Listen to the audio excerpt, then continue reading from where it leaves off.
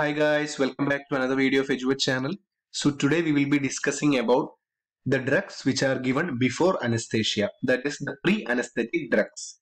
Or so moving to the introductory part, pre-anesthetic drugs are used to prepare the patient for induction and contribute to the maintenance and smooth recovery from anesthesia.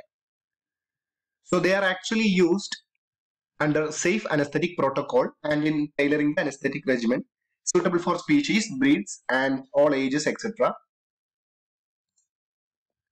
So the aims of pre-medication that is actually to reduce the fear and calm the patient because our patients are animals. So once they are taken to operation theater and all they will not be comfortable with those micro atmosphere. So they will be having a stress and they will be having fear. So we have to control the fear and stress and calm the patient. So next is actually to reduce the distress during restraining and minor manipulations like catheter placement etc. So next is actually to produce pre, intra and post operative analgesia. So we are using surgical blades and all. There is a chance of pain. So we have to uh, produce analgesia. So to reduce the salivary secretion and airway secretion, airway secretion we have to reduce because proper ventilation should be administered to de decrease the total quantity or amount of the major anesthetic drug and to reduce the side effect of the major anesthetic drug. To provide smooth induction, to provide intra-operative complications like uh, should be prevented like vomiting and regurgitations. To provide safe and smooth recovery.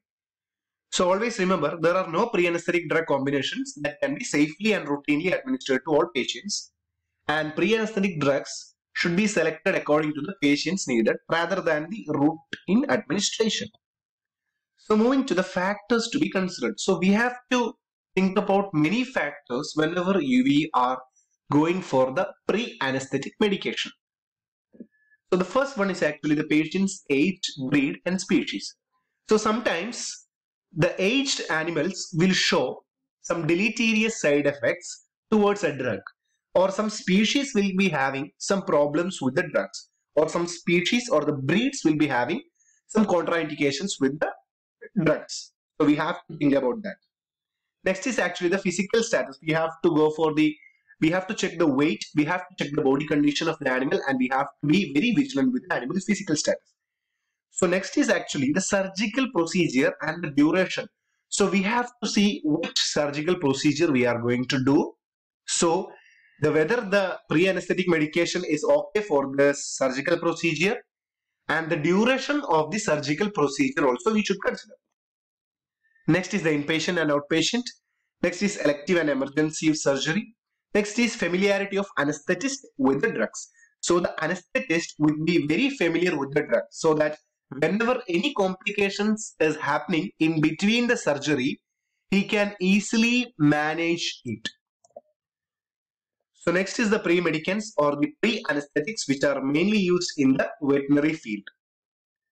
So they are actually mainly classified into the four categories that is anticholinergics, tranquilizers or neurolepts, sedatives and opioid agents. So moving to the anticholinergic agents, we are very familiar with the atropine and glycopyrrolate. Next is the tranquilizers or neurolepts. We are very familiar with the phenothiazine derivatives that is the chlorpromazine acepromazine, etc. Next is the butyrophenones that is droperidol, haloperidol, azaperone, etc. Next is the benzodiazepines. We are very familiar with the benzodiazepine. They are actually the diazepam, midazolam, alprazolam, etc. So sedatives mainly we will be using the alpha-2 adrenergic agonist that is the xylazine, detomidine, medetomidine, etc. So next is the opioid agents. They are actually the agonist and the partial agonist antagonist characters. So the agonist will be mainly the morphine and meperidine, whereas the partial agonist and antagonist will be the pentazocine or the pentoxazoline and butorphanols. So moving to the picture gallery. So this is actually the diazepam drug. So they are actually used as sedatives, anxiolytics, etc. So they are also used in the pre-medications that is the pre-anesthetic. So diazepam belong to the benzodiazepine category of pre-medication. So next is the xylazine injection. So they are actually the alpha-2 adrenergic agonist. So they are actually the sympathetic drug. xylazine. They're actually also used as the local anesthetic, xylazine sometimes. The next drug is actually the droperidol. They are actually belonging to the uh, second categories and they will not be belonging to the butyrophenones, phenothiazine derivatives, etc. So droperidol is actually used with the fentanyl and they are producing the Innovar-Vet that is neuroleptalgia. So this is the midazolam. They also belong to the benzodiazepine category. So next is the anticholinergic drugs. They are mainly the glycopyrrolate and the atropine sulfate. So thank you.